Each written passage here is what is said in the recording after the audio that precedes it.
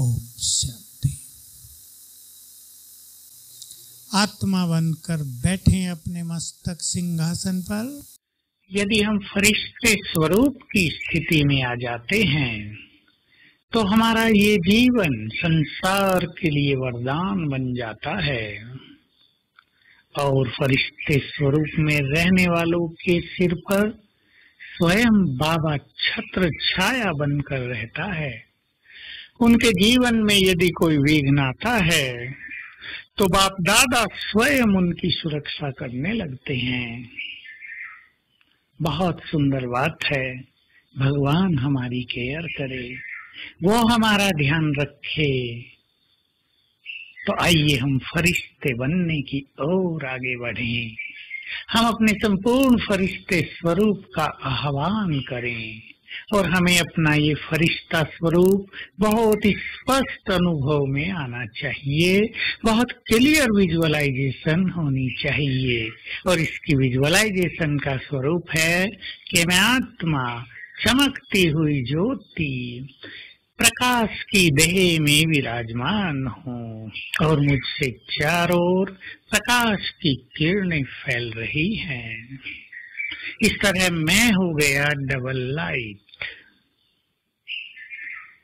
दूसरा double light का अर्थ, आत्मा ज्योति स्वरूप और मन भी पूरी तरह लाइट तो जब आत्मा संपूर्ण पवित्र बन जाती है, जब वो बिल्कुल लाइट हो जाती है, मन बिल्कुल हल्का, कोई बोझ नहीं, बेफिक्र बादशाह, निश्चिंत जीवन, एक बल एक भरोसे जीने वाले, तब ये हमारा फरिश्ता स्वरूप प्रत्यक्ष होता है। फरिश्ता, अर्थात जो निरंतर योग युक्त हो, जिसके चित्त में सभी के लिए कल्याण की भावना, शुभ भावनाएँ भरी हुई हो, जो ईर्षा द्वेष घृणा, नफरत, तेरे मेरे सबसे परे हो गए हों, जो बिल्कुल आत्मिक स्वरूप में स्थित हो गए हों, इसलिए चाहे बहन फरिश्ता बने, चाहे भाई फरिश्ता बने, दोनों के लिए एक ही शब्द प्रयुक्त है,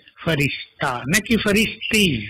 इसका अर्थ है, जो नर और नारी के भान से ऊपर उठ गए। वे फरिश्ते हैं। जिनके पैर इस धरती को टच नहीं कर रहे हैं, वे फरिश्ते हैं। अर्थात, जो इस संसार के आकर्षण से ऊपर उठ चुके हैं, जिन्हें इस संसार का कोई भी प्रलोभन अपनी ओर खींचता नहीं है, वे फरिश्ते हैं। तो आइए हम इस वरदानी स्वरूप को धारण करके इस संसार का कल्याण करें, क्योंकि इसी स्वरूप के द्वारा हमें सारे संसार को संदेश भी देना है और श्रेष्ठ वाइब्रेशंस भी देने हैं।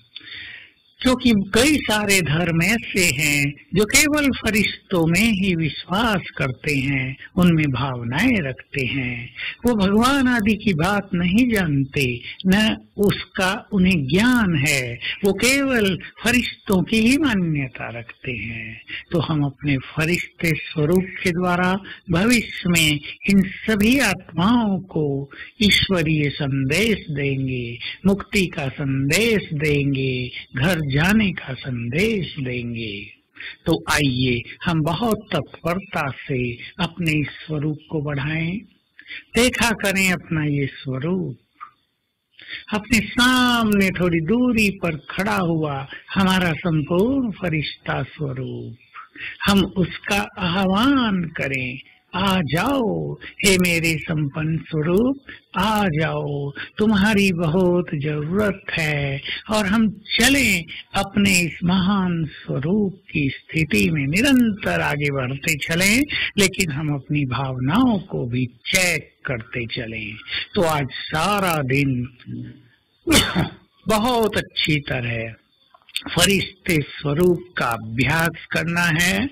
हर घंटे में एक बार अपने इस तेजस्वी स्वरूप को देखना है और ग्लोब पर खड़े होकर सारे संसार को संपूर्ण प्रकृति को पवित्रता के और शक्तियों के वाइब्रेशंस देने हैं। तो सारा दिन बार बार अभ्यास करेंगे। मैं पवित्रता का फरिश्ता हूँ। मैं मास्टर सर्व शक्तिवान फरिश्ता हूँ।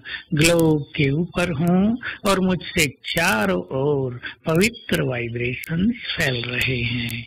ओम शांति